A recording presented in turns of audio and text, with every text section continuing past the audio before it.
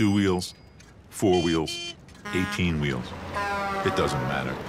We all have the same rights on the road. Unfortunately for bikes, cars and trucks forget this.